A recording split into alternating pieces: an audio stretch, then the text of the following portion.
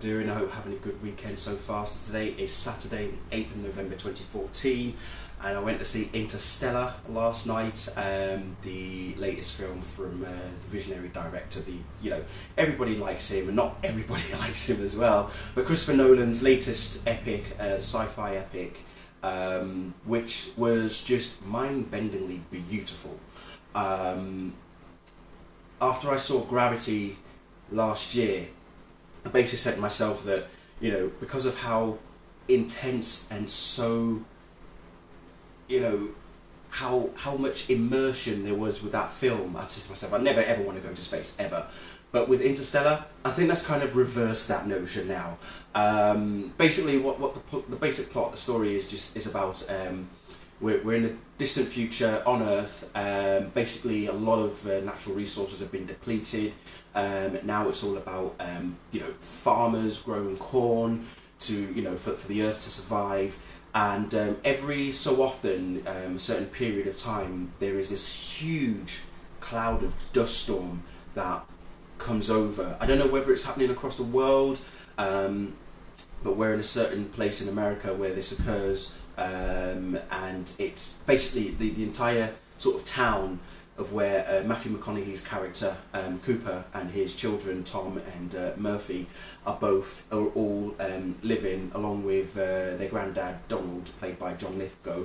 Um, they're all, you know, they're having to block their close their windows, close their doors, lock lock lock the entire house down because this dust storm basically just covers the entire area, and um, it's quite harmful as well for them to breathe in. So you know they have to wear protective masks and goggles and such.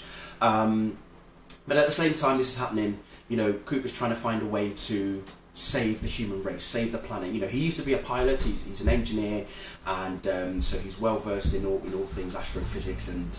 Um, you know, NASA related stuff. You know, he's been on space missions before. He's piloted certain um, space shuttles as well. Um, but that was like a good decade or so ago.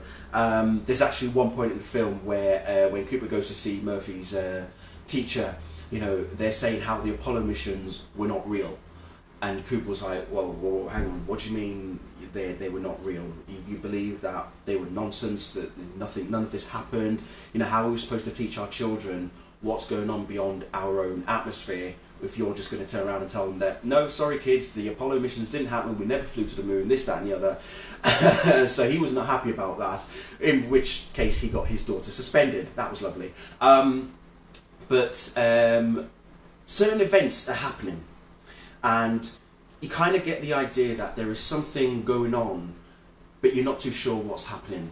Um, like for example, Murph says that she noticed in her bedroom books were falling off the shelf she had a model of the Apollo uh, shuttle, I believe it was Apollo 11.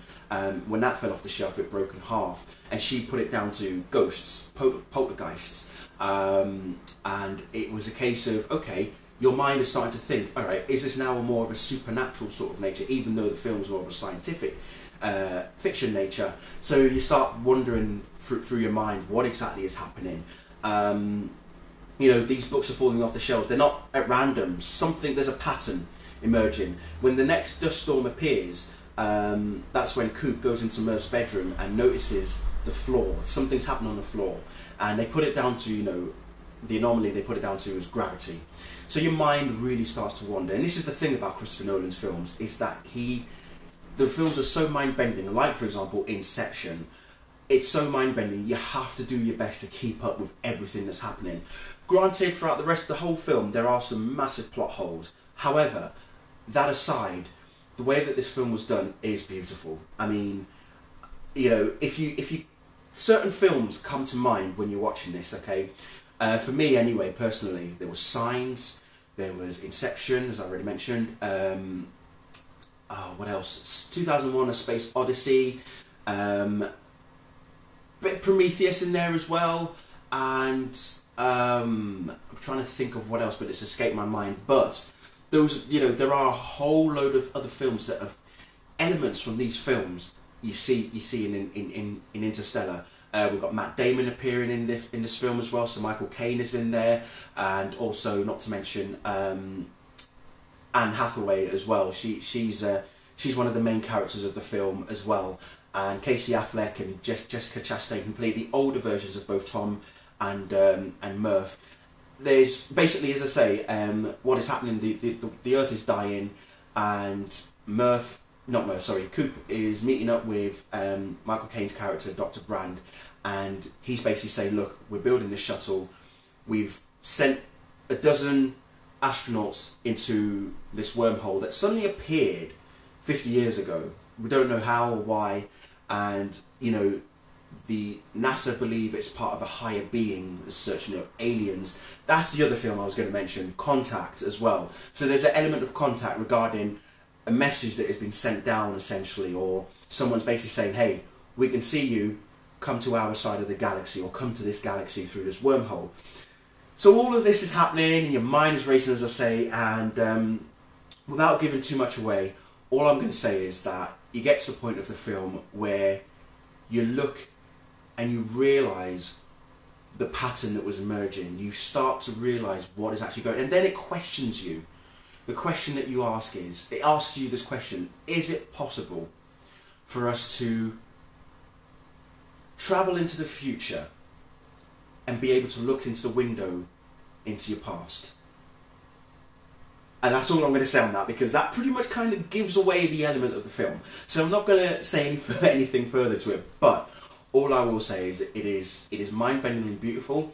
Um, there were um, robot characters in this one, two in particular, both named Tars and also Case, and they are hilarious. Okay, the the other thing I love about this film is that despite the seriousness of it throughout the entire time it was playing, there are gaps of humour in there. They're well positioned, and it's it's really good. I, I didn't think Christopher Nolan was was uh, averse to a bit of humour, but he adds in that little humour when it's when it's when it counts when it's needed. It's it's not like it's forced in there like other films normally are. You know, the humour I think is well placed. Um, it's pretty good, and um, there's you know it it just asks that question. As I say, is it possible that we can travel to the future and somehow look look back on our past? You know, it's it really does ask that question and it's, it's just incredible. It's all I'm going to say. So yeah, and the other interesting thing is that the way that time passes when they're traveling, when they've gone through the wormhole, they travel to a, to a certain planet that they believe is habitable, and um, basically time is so slow on this particular planet that every hour is the equivalent to seven years. That's that's just incredible. It really is incredible. So. Um, watch it, see it, and you've got to see it in IMAX because it is made for IMAX. We know how Christopher Nolan loves his film, how he loves IMAX, and he he is just yeah he loves it. Um, so you've got to watch it in IMAX. Don't watch it in any other format. Watch it in IMAX because that's what it was made for, and see just how epic this film is. It is beautiful. Um, I'd say that it does rival Gravity in a lot of sense. Yes, it's not in 3D because Nolan doesn't like 3D. We know that.